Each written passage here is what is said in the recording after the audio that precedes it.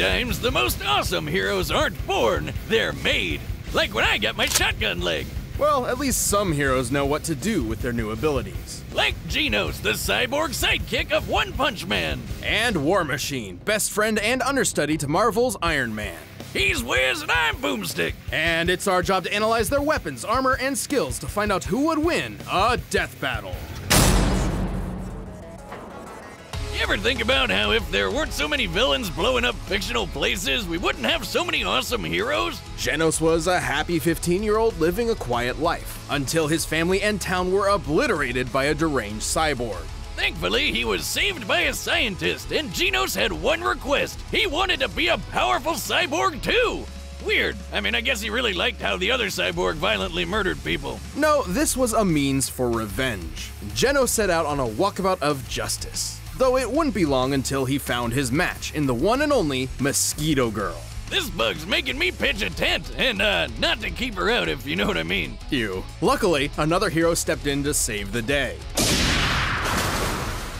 Look out! It's the One Punch Man himself! Understandably impressed, Genos asked that Saitama take him on as a student. Caped Egghead here wasn't too excited about having a sidekick, but they eventually became buds. The two were quite the dynamic duo, Genos in particular rose to fame thanks to his adoring fans. Yeah, he's uh, pretty popular with the ladies, obviously. No such luck for Baldy McPuncherson, though. To improve his hero work, Genos received numerous upgrades and repairs from Dr. Kuseno, the same man who turned him into a cyborg in the first place. Mostly because he can't get out of a fight without something getting blasted off. He's got super durable armor over his entire body, and he can pop his limbs on and off like a friggin' lizard tail. Genos' limbs and body are incredibly strong, able to easily defend against powerful attacks. And the metal that makes up his body has been upgraded to protect against stuff like acid or heat, on top of them boosting his speed and overall power. He has multiple niche upgrades as well, such as an adhesive he can spray from his heels to immobilize foes. Talk about a sticky situation, right, Wiz?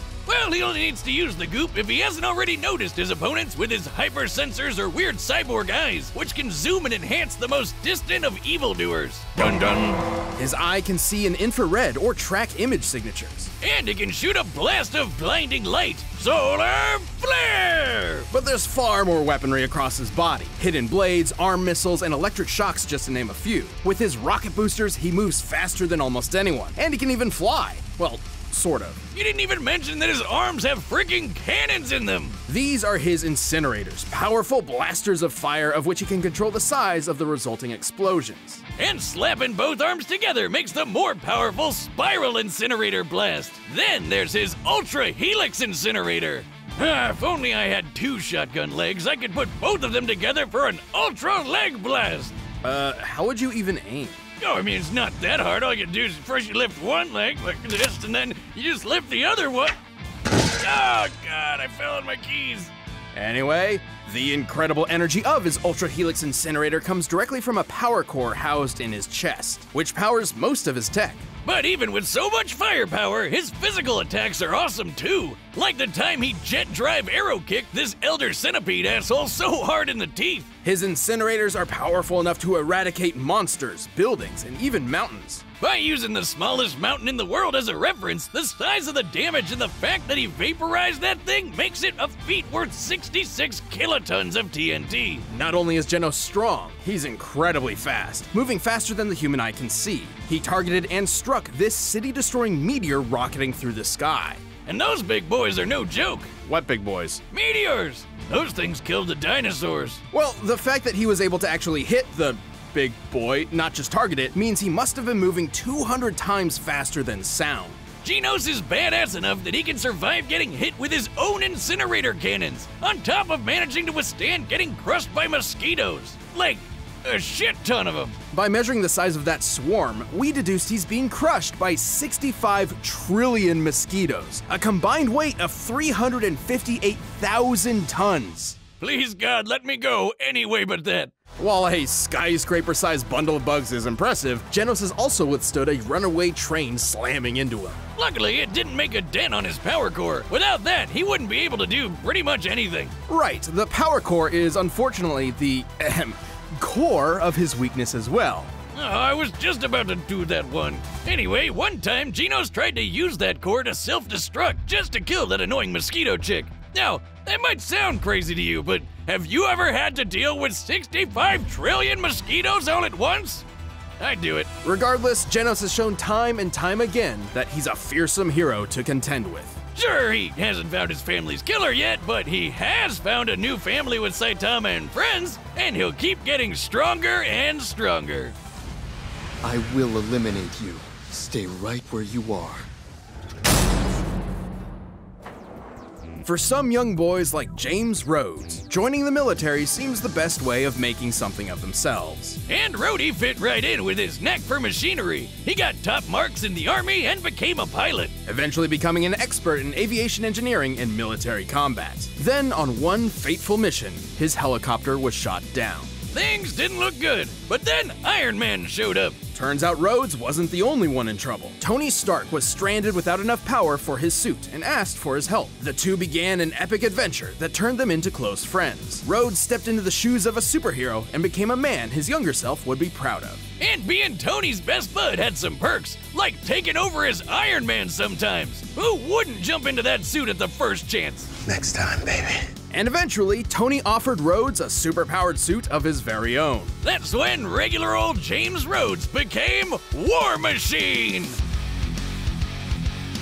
Oh yeah, it's like Iron Man but with more guns! Rhodes had spent years trying to find his place in the world. As War Machine, he found a way to truly make something of himself. He already had tons of combat experience from the army and a bit of PTSD, but y- you know, you win some, you lose some. He can do way more anyway. He is a multi-talented badass. Tony has provided Rhodes with multiple War Machine suits throughout the years, each improving upon the one before it. Oh, and these babies are a beautiful piece of work. Just look at all those weapons! The suit is a specialized variation of the typical Iron Man armor, focusing more on firepower than tactics and maneuverability, clearly. Its alloy is composed of titanium and vibranium, Hey, like Captain America's shield. which means it's both extremely durable and light enough to fly at incredible speeds. Very important given the computers, life support systems, and other devices housed within the unit. That's not even talking about what Rhodey fights with. His fine-tuned rides got repulsor rays and a unibeam in the chest. And did I mention guns, guns, and more guns? Get a look at that! Machine guns, Gatling guns, laser guns, flamethrowers, the works! The suit can generate electromagnetic pulses, particle beams, and even drain energy from opponents. Ah, this baby's so sweet, I felt inspired to upgrade some of my own arsenal, if you know what I mean. I don't think I want to. I got a new gun! It, uh, it it was white when I bought it, but I accidentally washed it with my hat. So obviously, I'm pretty hyped about the guns, but the armor has a lot of really cool other things too. His most up to date suit includes incredible chameleon systems that allow him to not only become invisible, but intangible, bypassing scanners and phasing through walls. You know, I could really use that uh, next time you try to stab me with a trident! It was one time! And in the most dire of circumstances, War Machine has a self destruct function he can call upon to make sure his tech doesn't fall into the wrong hands. I mean, this work of art can scan for things like weird light and electromagnetic signals. But even if Rhodey doesn't see it coming, he can handle the craziest of attacks. Not only has he been thrown through a mountain with enough force to cause an earthquake, He survived getting nuked. You see the size of that crater? Compared to War Machine himself, this looks like the explosion was over two and a half megatons of TNT. and the suit is fast enough to fly into orbit and out into space. Take that, Elon Musk! No, but please send me one of your flamethrowers. Sorry, not a flamethrower. See you. Given how it only takes War Machine about 10 seconds to exit the planet's orbit, and measuring the distance he's traveled, this puts him at flying speeds over Mach 620. And while he may be speedy, Rhodey's also strong enough for his hits to be the first and last. He's lifted cars, thrown tanks, and tossed a dude so hard he destroyed a spaceship. Not to mention the fact that Tony created the War Machine suit to be on par with his own Iron Man suits. And remember, Rhodey even acted as Iron Man for a while, so plenty of what Tony can do, he can do too, including the time Tony blew up a massive rock the size of Manhattan. Of course, everything he's experienced as a superhero and in the army hasn't exactly been the best for his mental state, which has unfortunately left him with pretty drastic cases of PTSD and survivor's guilt, even sometimes feeling he's not worthy of the high tech armor he wears. But he'll push past it to rescue his friends as well as the rest of mankind. Time and time again, Rhodey's proven that Tony isn't the only armored Avenger. Also, did I mention the guns?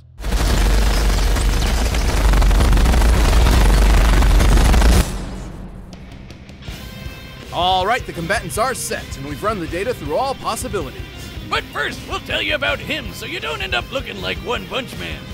This episode of Death Battle is sponsored by Hims. Hey guys, there's a company out there to help you look your best every day. Hims! Did you know that 66% of men start to lose their hair by age 35? I've done research on this myself, and, well, it's true and terrifying. But Hims can help. If your hairline is starting to run for the scalp, the best way to keep it where it belongs is to do something about it while you still can. Grab this new year by the follicles. Here's to a year of personal growth with Hims prescription solutions backed by science. And if you're as shy as Wiz here, it's perfect for you. Yes, Hims knows some conversations are easier to have online than off. So, with them, you can connect to a real doctor online. And should you be prescribed, it's shipped right to your front door. Dive into 2020 hair first. Right now, get started with your first month free. Go to forhims.com slash deathbattle. Prescription requires an online consultation with a physician who will determine if a prescription is appropriate. Offer valid only if prescribed. Three month minimum subscription. Additional restrictions apply. See website for full details and important safety information. Remember, that's forhims.com slash deathbattle.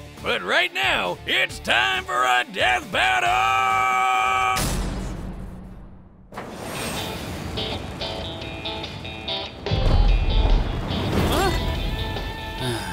Never a day to myself, huh?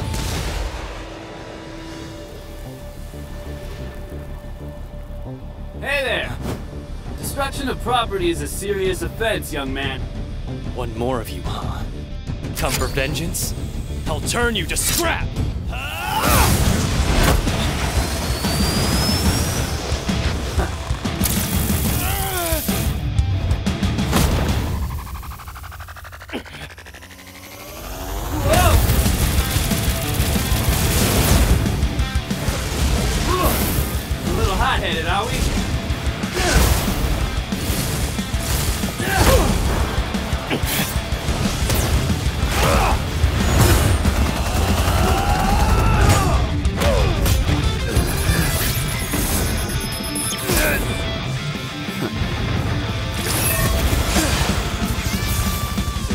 Say cheese!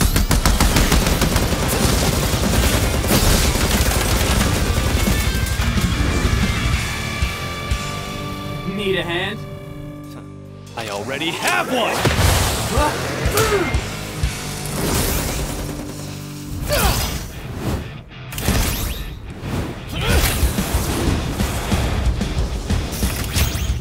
I don't fall apart that easy.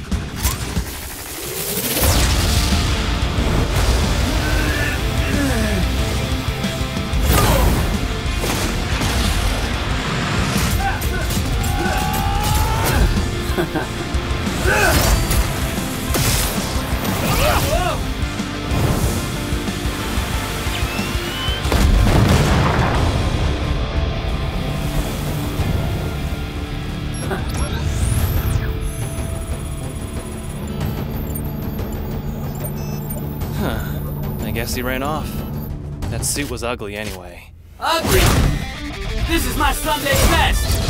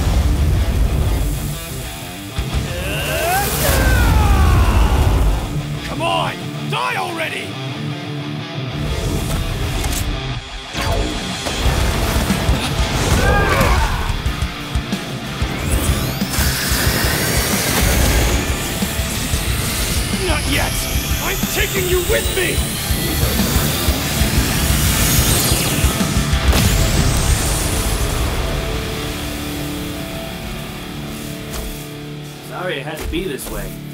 Don't talk to me. You got it.